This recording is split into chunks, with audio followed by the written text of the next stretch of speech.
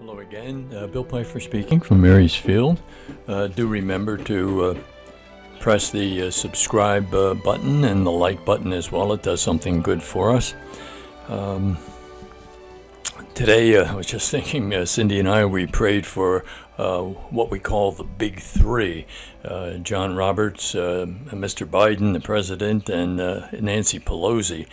We say a rosary for them every, mm, I guess it's 14 days. Every day, every morning, we pray for one of our children and people in our immediate family. That's about 13. And then we pray one for Mary, one for the poor souls the next day, and then one for the, the big three Roberts, Biden, and Pelosi. They certainly need it. they need the wisdom to be able to do the right thing on a regular basis, and that certainly doesn't seem uh, uh, to be happening uh, these days.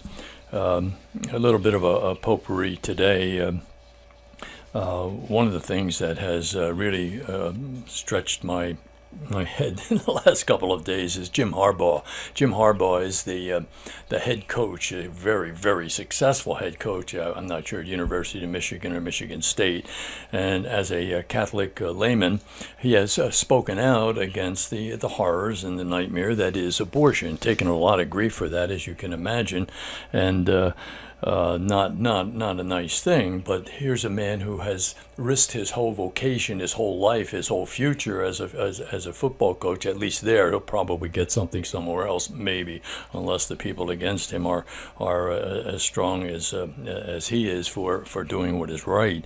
Uh, but uh, you know what a sad thing that is. You know the uh, you know he has done what Cardinal Dolan and all of the American bishops haven't done, and they should have done it by the the, the the job that they have, you know, and that just doesn't make any sense, does it? You know, by and large, the bishops are good people. They really have a difficult job. It's a very important, responsible job, and so on. But they're just not good leaders.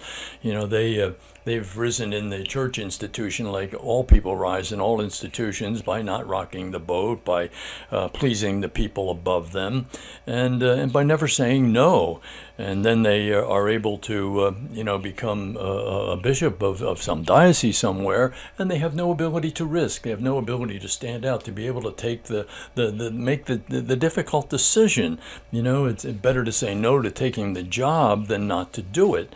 Uh, but you know that just doesn't happen. It's a difficult thing. I mean i'm not uh, saying that it's not a hard thing for them to do but they really do need to uh, to um, you know step up and, and, and, there's just no leadership. There's no leadership. Very few of them have spoken out strongly against if nothing else at least the Pelosi and Biden position on on abortion which is just uh, just outrageous you know uh, and here's a fellow Jim Harbaugh, a layman, living his life, living his faith, and um, you know, terrible thing. And there's a, there's a nice quote I used to use with the kids that says, "Nothing is more rewarding than to watch someone who says it can't be done get interrupted."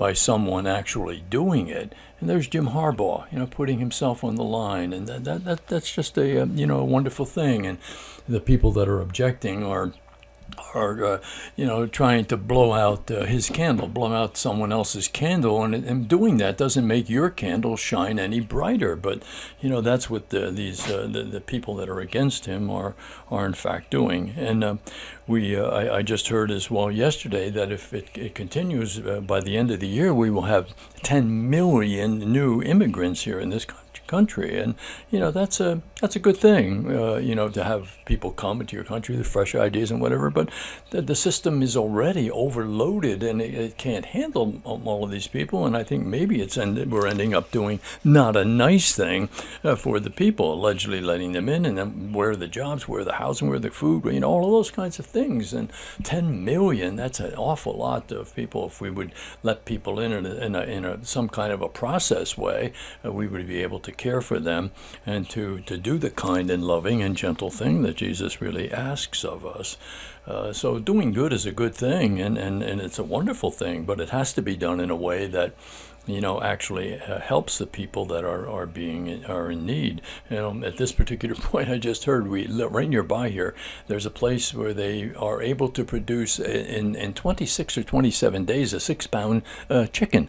You know, why not build factories for people where they're living and and produce uh, six pound chickens in 27 or 28 days and take care of us at least part of their problems uh, with with food. But uh, you know, we don't do that. We just you know end up uh, making making some other kind of decision that really doesn't kind of kind of make sense. So, you know, doing good is one thing, but making sure you're doing the right thing. It's the the Abbe Pierre in Paris that he was took care of the rag pickers, and he would say, "I'll give you a night uh, of sleeping here, and I'll give you a reason in the morning to get up and then to get out and to do something." And maybe that's uh, part of the thing that we, you know, that we need to, to do. I am reminded when I think of all of this of Etienne um, uh, uh, wonderful lines when he said, "I shall pass through this life but once." Any good, therefore, that I can do, or any kindness that I can show to any fellow creature, let me do it now. Let me not defer or neglect it, for I shall not pass this way again. All the kind of, of uh, sentiments that, that good people everywhere have and want to do good things for people, but you know, you just can't uh, do the next knee jerk uh, response to a situation and not be able to really take care of it. Take care of it all to me. And to be able to, like Jim Harbaugh, to have the courage and strength to live his faith and to be able to do this, we're looking for the bishops in this country to do that. They're supposed to be the leaders, and we're looking for them to uh, uh, to to carry on and to do the things that uh, that are that they are responsible for doing as a result of the job. I just read yesterday in Gaudium et Spes, it's one of the documents from Vatican II.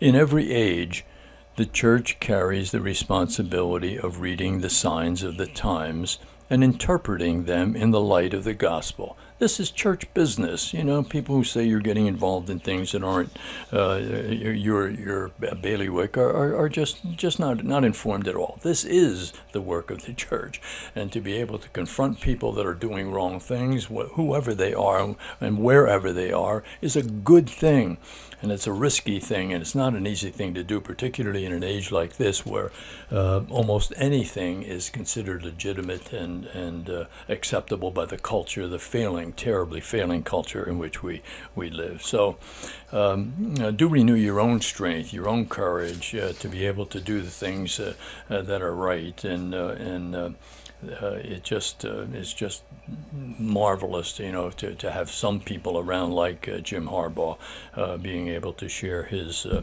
his courage uh, with with the rest of us. Good to be with you again uh, keep on going. Keep us in your prayers, and and uh, maybe uh, uh you can pick up a rosary and say one uh, uh, and pray one like Cindy and I do each day. It's a good thing. It gives us the opportunity to come together to be able to pray for the people in our family and for the people in our country that do indeed need help. God bless you. Happiness tomorrow always begins by doing the truth today.